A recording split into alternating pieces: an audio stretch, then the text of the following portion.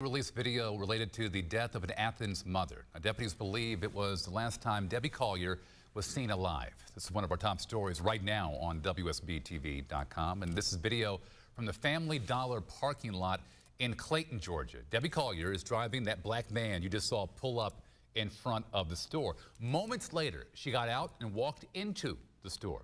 Deputies found her burned body the next day in Habersham County.